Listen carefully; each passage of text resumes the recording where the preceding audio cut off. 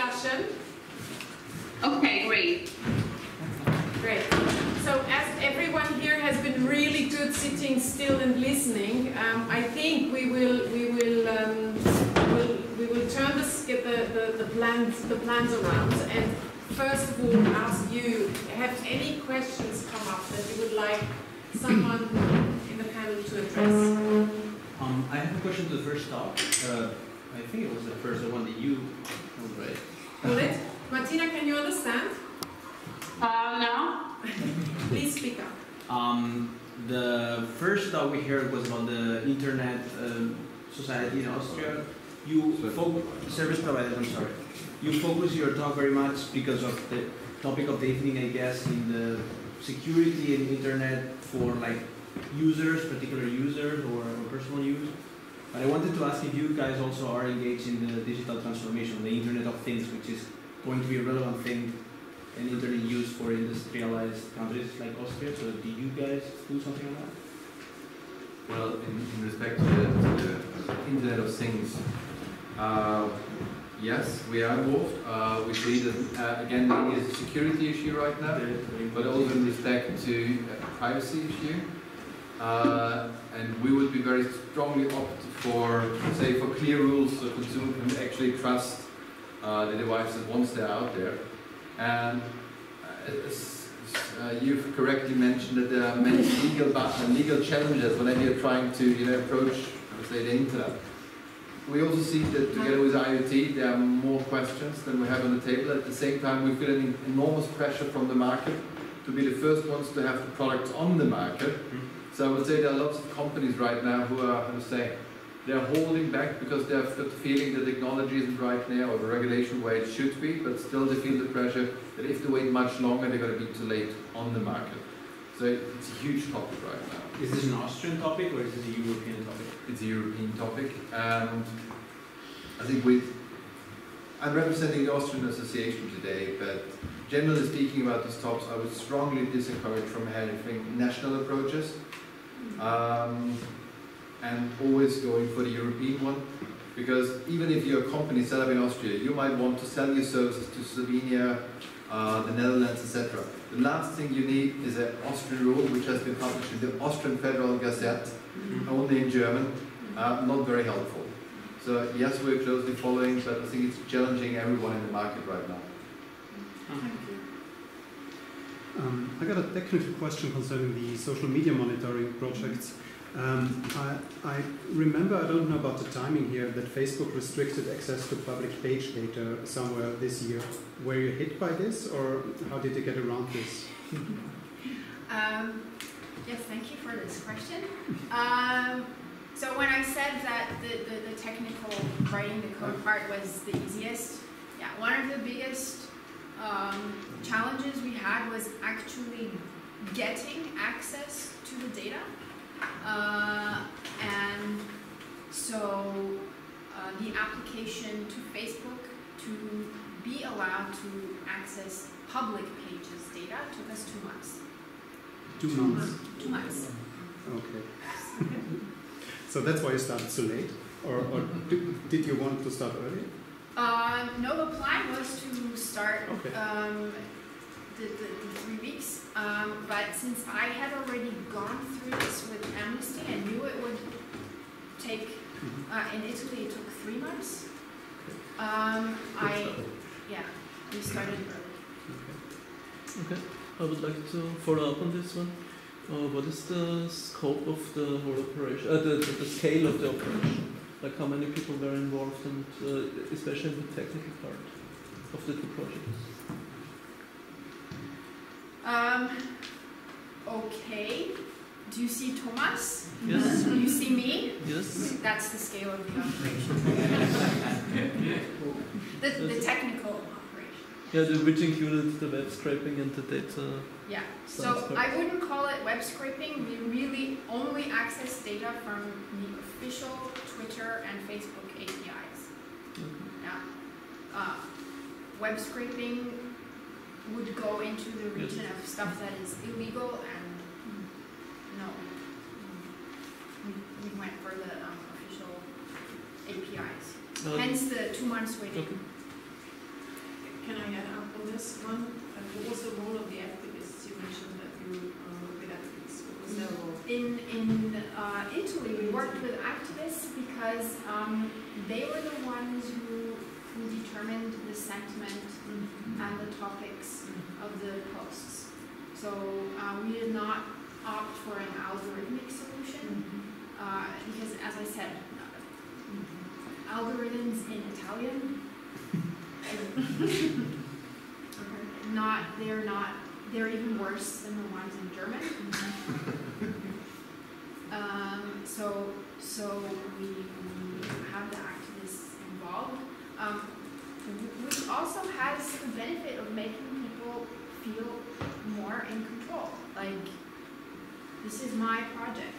There is something I can do about hate speech online. This is my contribution. And how many activists were Martina? Martina, how many activists were We involved? is social media monitoring, the European external monitoring, one of the act. She may have to write her answer. Yeah, one, one somehow, somehow we only One heard. hundred eighty for the European election, six hundred of the way for the One national hundred the before. we write it down. Okay, quite, quite enough. Ah, Very good, thank you very much. Thank you. Yeah, I just want to uh, get um, follow up on, on the algorithms I've been working in the field of semantics and text analysis and looking at the, and I see the Italian community is very active in, in this field. So wouldn't it be possible to use uh, existing uh, data for training and then automate, automate this? Um, this would be one next step to, to try to do. Maybe based on the now manual Wait, data by now, we have, uh, well, Amnesty now has a huge data set of labeled data. So anybody who wants to help them out, yeah? Anybody who wants to try out, to try to develop the next sentiment analysis tool in Italian, please come talk to me after. Great. So we've been talking a lot about um, marketing spend online and social media, etc. Have you ever considered the not so publicly available spend, like buying likes or buying comments or buying fake profiles online? Would you consider that into, into the total spend? Can you, can you actually, is there data to analyze this?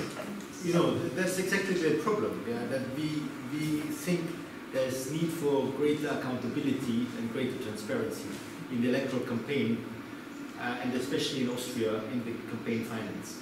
Yeah, so we lagging behind uh, Western European countries, uh, Scandinavian countries, Balkan, uh, uh, Baltic countries. They are far ahead of us in terms of transparency of campaign spending. Now, you know, for sure that that's uh, would be very interesting to understand how parties are spending their money and how parties are receiving their money. Yeah, and for example, I, I live part in Prague, in Czech Republic. So they have a law that you have uh, a public account as a political party, but you have to uh, show the funding you receive and the funding and the, and the expenses you spend. Yeah. So there is a, a more transparency in the accounting, and I think we also go in, into that direction.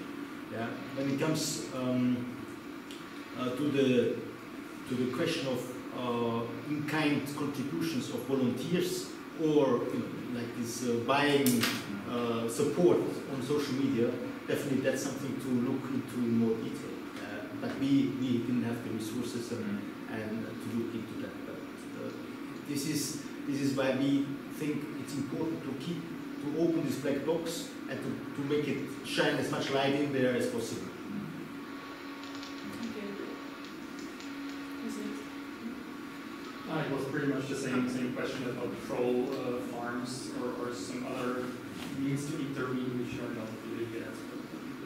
you know, just about the troll farms, you know, there's a whole topic which we didn't cut upon is disinformation campaigns, yeah? because it, it, it, it is it has been hotly debated ahead of the European Parliament elections. There's a lot of there's a rapid response unit in in, in, in, in embedded in the Commission, in the NATO, in the Baltic states, also one in Prague. You know, the, there's also one in Finland.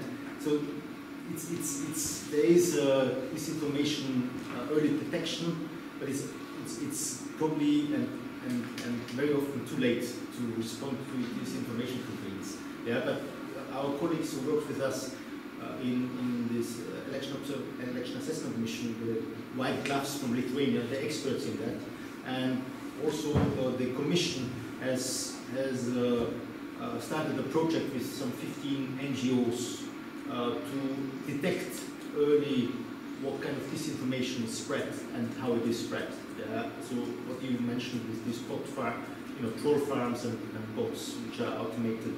Uh, uh, this is this is their topic, but we have not uh, looked into that in Austria. But again, we try to open a field, and you know, we, we just also discovered that it's so vast that we need to come also to terms about who is doing what and who can do what, uh, and it needs to be done in a more coordinated and uh, planned manner. You had a wish list regarding data and metrics or platforms would need to disclose for you to actually conduct pro- proper mon- monitoring, what would that be? Wish list. wish list. Martina, do you have a wish list that we, what you would Yeah. like to monitor? Oh, has she gone? Martina? No, she's not gone, she's only on audio. I can hear you again now. Okay. So the signal was lost like for a couple of minutes, okay? Or less. Yeah, we, we were asked for our wish list of things that um, we would like the online platforms to give as data. Do you want to start? Do you have one? Uh, let me think about it.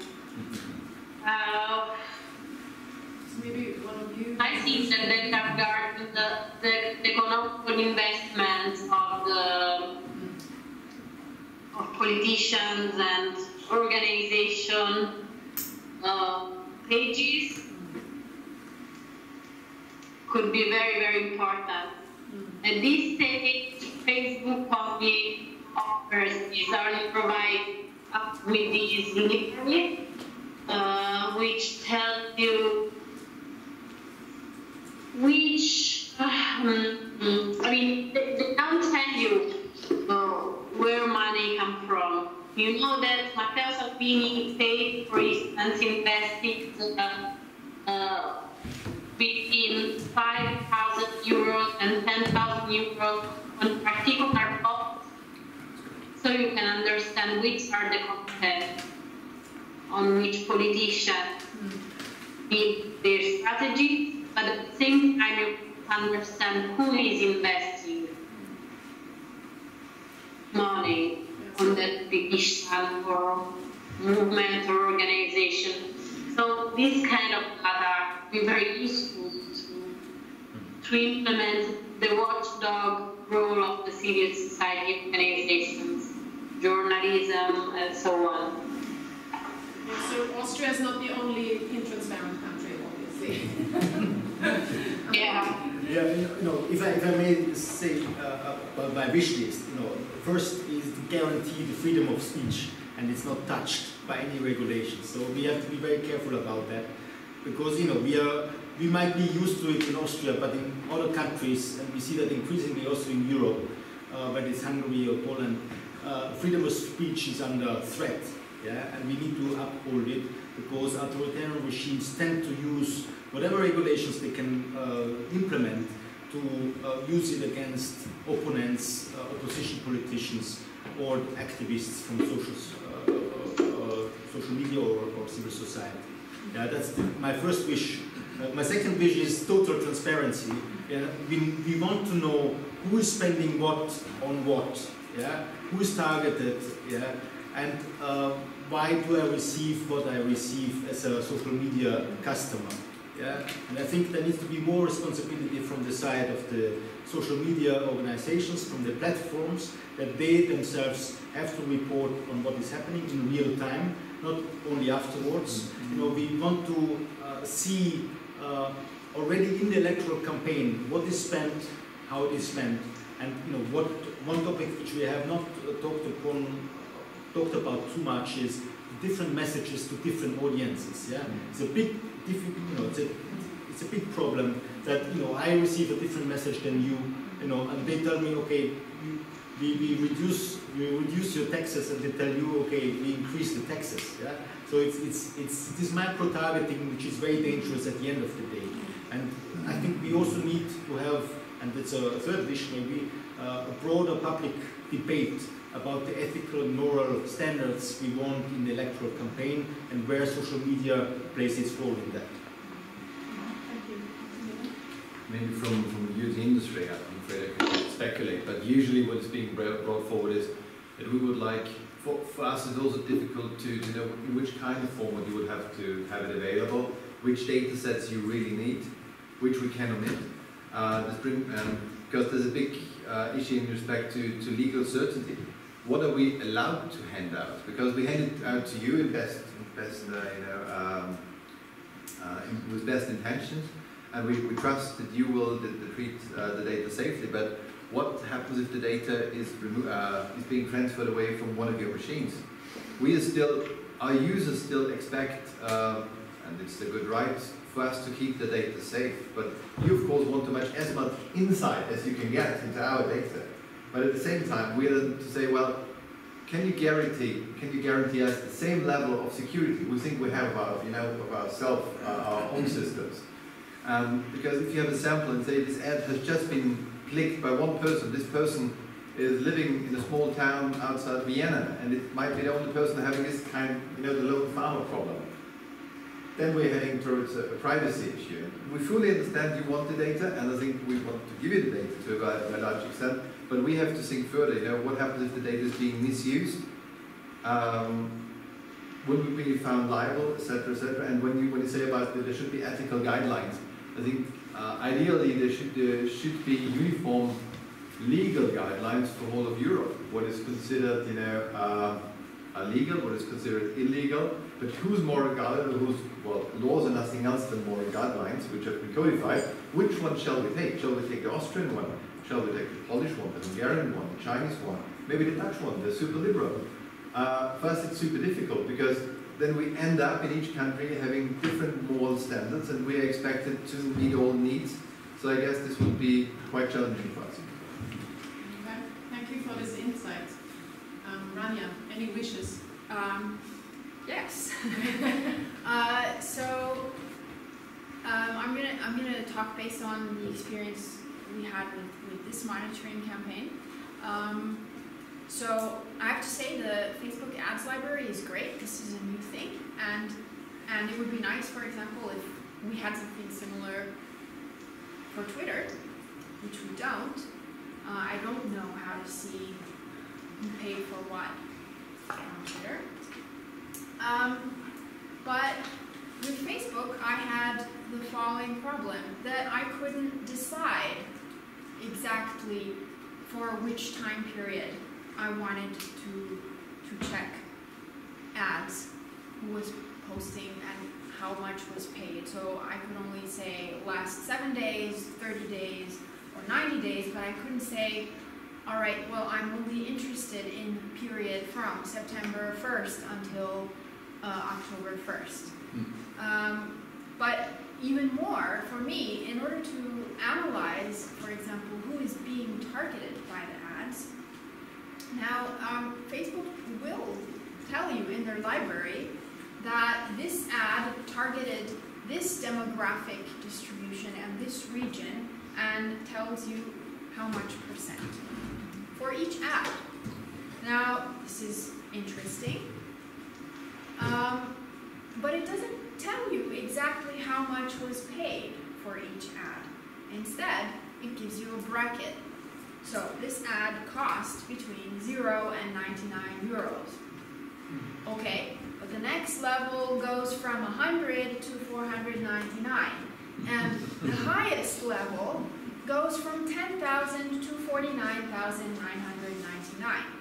So when I'm faced with information like this, it becomes uh, well, I won't say impossible, but it becomes very difficult for me to then go back and identify, um, okay, well, this political campaign was targeting uh, 18 to 24 year olds the most.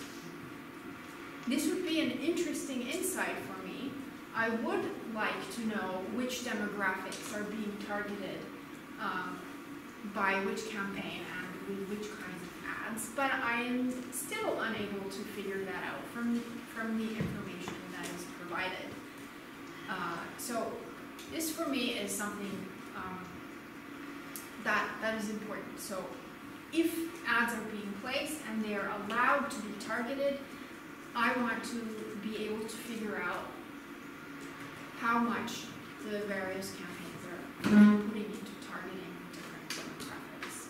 Okay, so that, that's the wish list. You wanted to add something? Martin? Uh, just to know, you're mentioning a couple of platforms, but also their economical, um, say, capabilities are very different. So something might be relatively easy to finance for, let's say, Facebook and Google, but Mhm. if you look at the figures for Twitter, they are not making that much money right now. And what you're calling for is quite a, a big system to be set up and is ideally real time, etc., etc. So, especially if you have smaller platforms, that's quite a struggle. And I fully understand that you should get it, but please keep in mind that you know uh, it's also a struggle for the companies to be able to provide it to you. That's why it's called a wish list. Yeah, Yeah, let's yeah, try yeah, to yeah. get it. But we are coming closer to Christmas, so who Yeah, knows who what knows, maybe happens. Santa. There was a Yes, um, going back one topic to the, uh, topic of buying likes and, and fans, I think that's something that's almost impossible to really monitor because it's not really something that happens out in the open. Um, so something like ads being bought by a party from Facebook, okay, that's fairly open and it's almost legal. Um, these other things are like, okay, you're violating guidelines there, um, which you could be banned for technically. Um, so I think that's why it's like in, magnitude of order more difficult to track these things. That having been said, um, I have seen, for example, which is, is quite interesting and we can't be sure, but from a different project I've seen, for example, the number of fans um, a page has. Uh, I'm not sure whether the example was from HC Strache's or Sebastian Kurz's page, but what you can see there in the timeline is like it's a fairly stable increase, and then you have like for one day you had like a dip of 2,000 or something like that, and um, we assume that what's happening there is that Facebook is banning um, people or banning likes for the page, which they presume were, were bought um, and are fake profiles, and then the site is buying them back. That's why there's like a strange downtick and uptick in the follower count or in the fan count. Um, but of course we can't know um, really, and it's just a like a hypothesis that can be never confirmed. Thank you.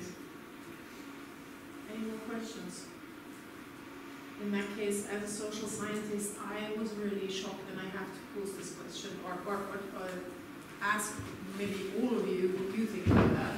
Um, Austria, why, why do Austrians believe or trust social media? What the hell is going on with us? I mean, we, we always like to think of us of ourselves as a as a very Western uh, industrial country. We're one of the we're the six richest in Europe and the 12 richest in the world, and we like to think of us as being very modern and forward, and then that, which is why I, I would be interested in your guesses, and maybe even if one of you has one. And the other thing that I, that I felt really disturbing was um, the hate of the, the hate uh, against women without even triggering this in Italy. And I was, I would be, I mean, that, that I think is very interesting. Is this uh, whatever a, a cultural thing? Is this something that occurs or, or refer, that, that, refers to women everywhere? Uh, But we don't have, we don't have any material yet. But I, those were the two things in, in, in your, in the numbers that you were showing that I was most disturbed by. I don't know. Any, any guesses why this could be the case in Austria? I mean, what's the matter? Yeah, you know, there- definitely there are guesses. Uh, you Yeah. know, like, I, I particularly brought this graph because I thought it was striking Yeah. as an Austrian, and uh, uh, you see the difference to Germany. Yeah, uh, but you know, there, there, are, there, there, there's some irrational there's some irrational behavior in our political culture anyway. So Mhm. this, this might also explain the trust in social networks and social media. Did you, Yeah. did you look at that? Did you find any um, data on how many Austrians trust the state-run media or the independent media compared to social media?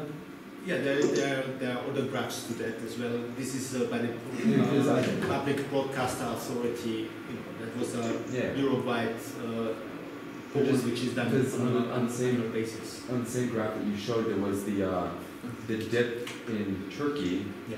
uh, by I think 11 percent or something in um, over one year, which is interesting. It would be interesting to see if there was that same dip in state-run in the trusted state-run media, or if that remained constant, and if they started believing uh, social media less when it maybe got more anti um, over the year. Yeah, you know, it could, it could be just that people feel familiar with their social media channels, yeah, and they have FPÖ TV and they have uh, uh, others which are they are trusted uh, informants about political uh, issues. So it could be that they feel rather comfortable and they can select whatever like what what they like and they believe in, and uh, there's no reason to believe uh, not to believe in your community, so to speak. Yeah, so you probably feel in a in a trusted environment, and you know, that could be part of the explanation. Yeah, and maybe the Germans are a bit more reflected uh, about uh, uh, the truth of it. Yeah, so the Germans have Bild Zeitung, which is also rather big. Yeah, we have the Kronen Zeitung, but looking at the looking at the power of a single newspaper in a country, uh, we are world champions. Yeah? Let's not forget that, Yeah. that we have been educated with the Kronenzeitung, or half of our population has been educated by the Kronenzeitung. Yeah. Uh, the second issue. The Uh, women, hate against Yeah. women, Yeah. without even triggering it, I don't know. But maybe someone wants to add on this, because I had, I saw some Um, I, I would add on both. Uh, One is that I wasn't particularly surprised that um, we Austrians have a fairly high, that, you know, people believe a lot in what the social media said because, uh, because everybody's in their bubble and they're just having their own opinions reinforced. So what, what astonishes me is that the other ones have such low numbers, actually. I thought that would be, that would be higher, so I'm, I'm a little shocked now myself about where we stand uh, in comparison to everybody else. Uh, but also that may be an aspect what Armin mentioned about the Kronen Zeitung is that Austrians, particularly the, the ones that read the Boulevard, are not used to have many different opinions on a topic. There's One one out the there. source. Yeah, and basically that, that's that's what gets to. So maybe. Um, on the women issue, there's just one thing that comes to mind. I'm sure she's not the only example, but one woman, one young woman who was hugely influential, certainly in our election, and solicited a lot of, of unsolicited hatred was Greta Thunberg. And there's a lot of bashing of why is this young woman, you know, um, which, which she took in stride, by the way, but um, I don't know how much that boosted the numbers of general sexism in Italy. Oh, you mean all the women that were assaulted? No, I don't know. I'm not, I mean, that, it's just something that I noticed. There were a lot of Yeah, yeah, people, uh, even even in my own bubble, some popped up. Yeah, and that's not where they would normally pop up. Um, that were and and and the, it was definitely you know it had it had something to do with her being a an even young woman. Yeah, that was that in- increased the problem for a lot of people. May- Maybe to add on to that, you know, one big problem we face as election observers mm-hmm. is that we can't access WhatsApp. Yeah? Mm-hmm. And we see more and more of the uh, campaigns, especially in other countries outside of Europe, is happening on WhatsApp groups, mm-hmm. closed groups, like in Nigeria, and there's a lot of misinformation, uh, you know, disinformation, and hate speech circulating. And you know, this is a, a hot topic because it's also a data privacy and, and data protection issue. Yeah. Okay, who should access uh, WhatsApp groups? Should we be able to control WhatsApp groups and monitor them? Or what, what is happening if, if uh, like in Myanmar, you know, there is a there is a violence breaking out because of social media communication. Yeah, it's not to blame social media, you know, Mhm. but people use social media and it's, it's, it's running rapidly, but there is miscommunication, there's disinformation and uh, uh, communicated. So the question is, how do we handle that? Who takes the responsibility and who should uh, take on responsibility about that? May- Maybe just one remark to, to hate speech. Uh, I think it's clear platforms have to step up, and you know, uh, it's ma- mostly a question of resources. But what we see in practice is sometimes that um, uh, cooperation and the exchange of data between national authorities and platform proves equally difficult for both sides. So we as, ISPA in Austria are heavily advocating for a so-called single point of contact, meaning there's just one institution on the side of law enforcement who is in charge of communicating with Facebook and Google. Uh, right now, if you, let's say, one of the big platforms, and you, every policeman more or less can approach Google trying to ask them, most probably their request will not fulfill the, the quality threshold. Um, sometimes there are a lot, a lot of, especially uh, with uh, hate speech, which information, for example, do the platforms need? Please don't, you know, not a screenshot taken with, with handicap, but uh, there are guidelines for all of this, but the training uh, in the field is relatively poor and there's lots of room for improvement. Right now, for example, we're having a discussion between platforms and Austrian law enforcement as uh, lo- uh, the platforms are wishing orders to be signed or digitally um, um, signed by authorities, but Austrian authorities don't have the capability to sign documents digitally. So that means if it happens on Friday, poor luck for you, you will have to wait until Monday and the Schreiberabteilung is opened again so someone can sign it and scan it and send it somewhere else. So there's, once again, there's lots of things uh, platforms can, can improve, but we are dependent on the notices coming uh, from courts because something is also difficult for us. It is hate speech, it is covered by free speech, so we rely on national courts. But this communication between these two stakeholders, there's lots of room for optimization on both sides of the chain. All right, we're running, we're running late. I'm, I'm gonna take one, two last questions.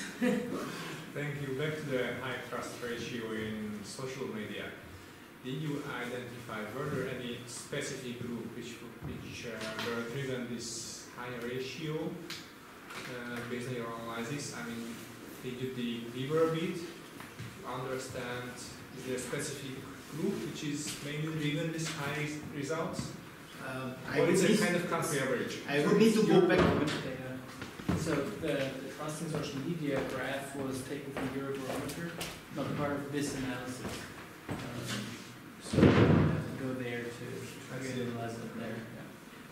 So, Yeah, no, I can I can consult the source and go back and see that there's a breakdown on age or uh, education or uh, sex and see okay whether there's a different breakdown and who is trusting more and who is trusting less. Uh, yeah, but I, I wouldn't have the answer ready now. Um, do you have any roadmap of three, five people for the future? Any new uh, projects? Uh, this is all nice, amazing, even 50 people. Do you have any vision how to engage people, not just Europe, let's say? I think Europe, we have GDPR, is in, in a fine state, I must say. In the US, is all a lot worse, and I think. And so how do you how do you see the future? How do you think you can engage people, engage people to volunteer? How much help do you got from the company from companies and for the countries? Yeah. Do we have a vision on that? I think this is almost like a, another wish, wish list here. But I think it's really good for a last round Yeah. of statements. So, um, is there a vision how to bring this project, these projects further? How to expand the monitoring? How to how to involve people on a higher level more intensely? Okay, well, I, I, I will start from um, my point of view. Um, my wish is that it becomes less work for people like me. Um, I don't think that social media monitoring should be a specialized and expert activity. Uh, this should be something that is carried out by people and society in general, uh, we shouldn't leave it up to somebody else and say, uh, I don't know, I don't understand, I don't have the skills, the tools, or whatever. So my personal wish is that it becomes easier to figure out what the social media landscape looks like, that uh, it's a broad discussion so that we can all come to a consensus, what is allowed, what is not allowed, and then the, the sort of legal pathways for, um, for making sure that, that things happen the way they should, um, should, should be smoothed out after we've all had this conversation.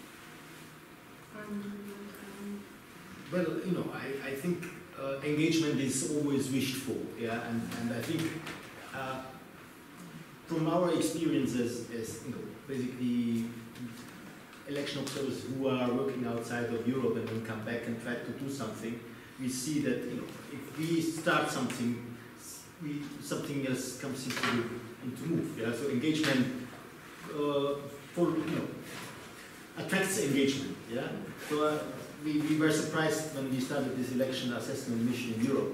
You know, we didn't have any budget at the end, and we got 65 colleagues who worked on a pro bono basis with us on that project because they believed in it. Yeah, so I think you know there, there is a lot of uh, goodwill out there, and you know it just needs to be pushed uh, or, or stimulated or, or attracted. Yeah, but it, I think also when it comes to uh, this social media monitoring, uh, we are now in the phase probably where we trial and have a, a trial and error phase, and we need to figure out okay what is the best way of uh, coming to terms with it. But uh, like it goes hand in hand with what I said before that we need to have a, a political uh, majority opinion. What do we want social media to play? What, what role should it play in our electoral campaign? Yeah? Or where do we want our electoral campaign to take place? Yeah? And how transparent do we want our voters to be? Yeah? Because I'm, I'm, I'm scared that Facebook knows before the elections take place what is the result of the elections. Yeah? You know, and that's not far off the, uh, the reality yeah, about all the data uh, we, we give away as users of social media. Thank you. So Martina, can you hear us and can we hear you? Okay, she's typing. Okay. So maybe Alexander, in the meanwhile, do you have any Uh, wishes for the vision? Uh, oh, sorry. No, no, no. Wait. As long as you're looking at me, I, Yeah. I, I know, what is. Uh, well, uh, I guess my point, please, please keep approaching us. Please keep criticizing us. Please keep telling us what you think we are doing wrong. Uh, and there's just one thing I would really like to keep you in mind. Very often we are saying no. Uh, but please don't, this no no, we don't want to cooperate with you, but very often it's a no, we don't know how to comply with you, or for example, we don't know if it's how to do it in a legal way. So please keep challenging us, and how to say, we industry, we, we're, we're almost dependent on the input to see how we can evolve, because then we're going to be better than our competitors, that's competition, that's what we are for. And if you want to get an insight what industry is thinking, for example, we've got I brought our materials here, so you can take a look and see what's troubling us and where we think you know uh, things should be moved forward. And not only take a look, this is free material. Please um, take home with you whatever looks interesting to you. especially the children's book. Yes, One is about 500 gram. It's super heavy. Please make us carry it all the way. Children aged three to five, I sincerely ask you, please. and all the other interesting stuff. Thank you. Okay, so Martina um, said that finding tools which allow citizens to get involved. Yeah, well, the involvement part, I think, and the engagement part is um, is definitely something that everyone can think of and should think of because um, the better we are and the, the, bet- the more we are challenging um, the industry, um, maybe then something more is happening. Well, thanks a lot. That was a really interesting discussion. It's really getting hotter by the minute in this room, so I think um, we've all had a great evening. Thank you very much for listening so closely and um, for your great contributions. Yeah, there's still there's still some drinks and uh, Oh, yeah. sandwiches uh, outside. Oh, uh, So, thank you.